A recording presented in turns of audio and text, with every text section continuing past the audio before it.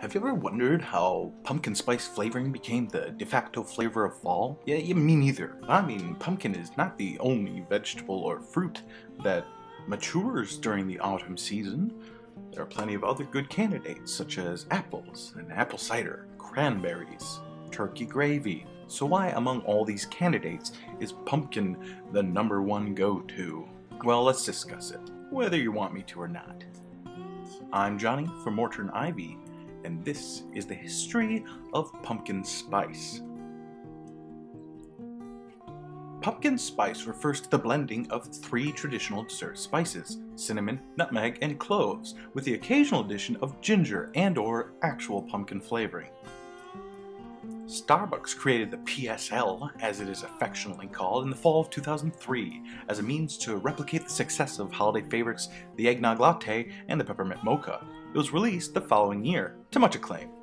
What started as a fun, tasty autumn treat spilled out of control and became a full-fledged cultural mainstay of the season, practically a way of life, and has since become a tongue-in-cheek synonym with suburban white girl culture, commonly referred to as, well, well I'm sure you've heard it. synonyms, synonym, synonym, syn, cinnamon synonym, cinnamon synonym. Say that five, ten times. No. Many other coffee franchises have created similar drinks before and since the Seattle-based Giants' introduction of the fall drink. Fun fact, Starbucks didn't actually include pumpkin as an ingredient to the beverage until 2015. But the story goes back further, much further. In fact, as many as 3,500 years earlier, or at least in part. Researchers have found pottery shards in Indonesia that contain residual amounts of nutmeg, one of the leading spices in pumpkin spice. This is 2,000 years earlier than originally thought. Nutmeg and other spices became invaluable commodities throughout the centuries since then, lending to the spice trade that exploded in medieval Asia, the Middle East, Europe, and North Africa. Silk Road, more like Spice Road. A region of Indonesia these nutmeg-dusted ceramic bits were discovered is known as the Banda Islands, which in the 1300s CE would become known as part of the Spice Islands for some several hundred years. Said University of Toronto economics professor emeritus John Munro at one point in the 1300s, when tariffs were at their highest, a pound of nutmeg in Europe cost seven fattened oxen and was a more valuable commodity than gold. And you thought $5 for a hot cup was unreasonable. Cinnamon has been in use even longer than nutmeg, known to have been popular in ancient Egypt some 4,000 plus years ago. Cinnamon became an especially popular condiment in classic Rome, where before the advent of nutmeg or pumpkins in Europe was used to season oysters. Now try putting that in a latte. I mean, I, I try it. I, I have adventurous tastes. The word pumpkin originates from the Greek word pepon, meaning large melon. This became pompon via the French, pompion thanks to the British, and then finally pumpkin by the early American colonists. The Irish and Scottish tradition of jack-o'-lanterns had originally involved turnips, onions, and or other roundish root vegetables, 19th century Americans, some possibly of Scots or Irish or Scots-Irish stock, adapted the tradition to the winter gourd native to the Americas. While it is not the only fruit or vegetable that matures come early autumn, the pumpkin and its accompanying spices have become synonymous with the season thanks in part to its role in early American agriculture and the very popular pumpkin pie's place on the Thanksgiving holiday table. very popular pumpkin pie's place. Nowadays, pumpkin, pumpkin spice, and pumpkin pie flavored, scented, themed products explode in number every fall. Products range from Glade plugins to even pumpkin spice candy corn and Cheerios. Trader Joe's stocks more than 70 pumpkiny products each fall, with that number rising steadily. In, in, in fact, why bother telling you when I can show you?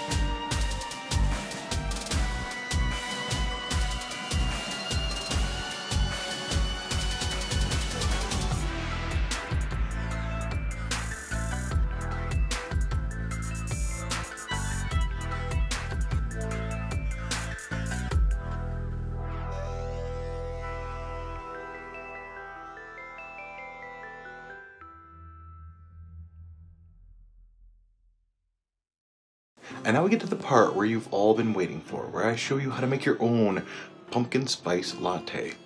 Now, for this, we're going to be using an old school percolator style coffee maker. Now, if you have a drip coffee maker, you can adapt the recipe to use it as such. Um, if you have a Keurig, I would just straight up avoid using that because, well, they sell pumpkin spice latte cups for that, and there's really no need to follow these instructions.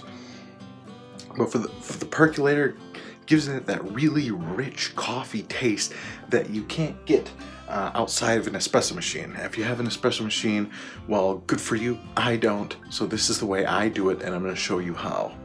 Now you will want to go ahead and line the grounds reservoir with a coffee filter so that no beans get in the mix.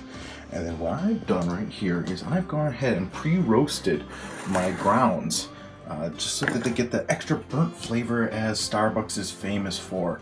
Uh, you'll really want it to have it smoky like a like a hobo's campfire. So you know if that's not good enough for you, definitely add some liquid smoke or whatever smoky barbecue ingredients you have. For this I'm using French roast grounds. Uh, I would prefer that, if, especially if you're trying to emulate what Starbucks does. And then you're going to go ahead and take that after roasting and just go ahead and put it right in the reservoir. Yeah, there's about four ounces there too. Four ounces of French roast coffee grounds. Isn't that right, Falafel?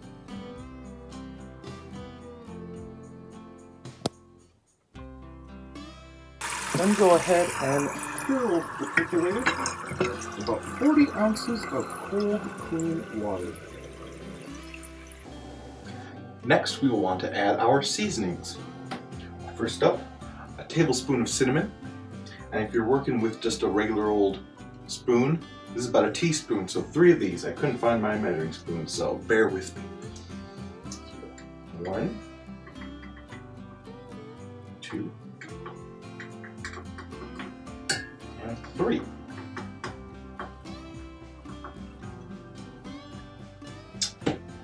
Next, one teaspoon of nutmeg. And then half a teaspoon of cloves.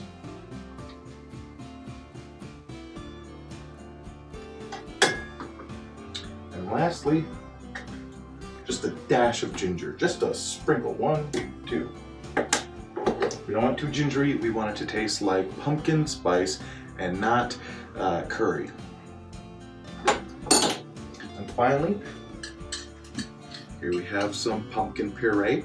If you have pumpkin pie filling, that works just as well. And if you have some leftover pumpkin pie, just scoop up some of that, and that works too.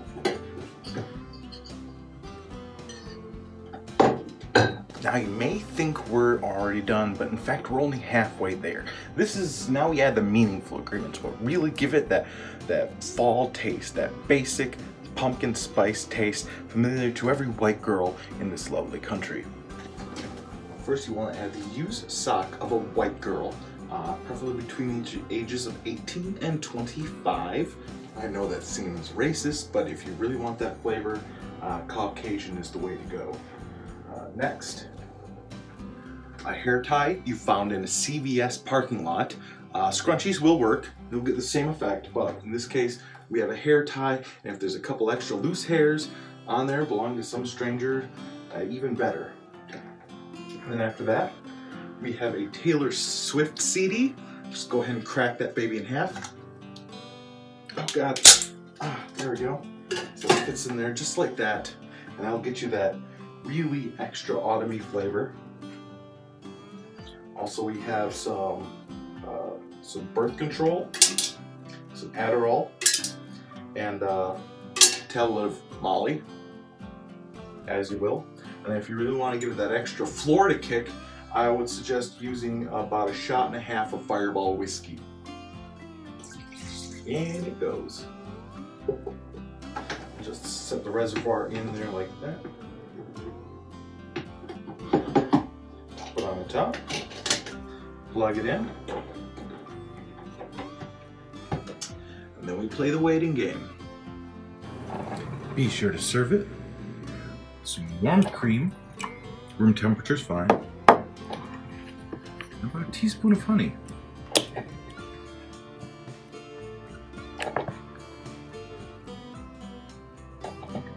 Another choice to make it extra autumny is some maple syrup.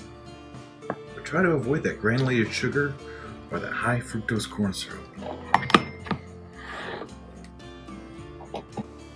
Now, for the test, how does it taste? Now that is the flavor of fall. Bone apple tea. I've been Johnny. You're always welcome in my neck of the woods.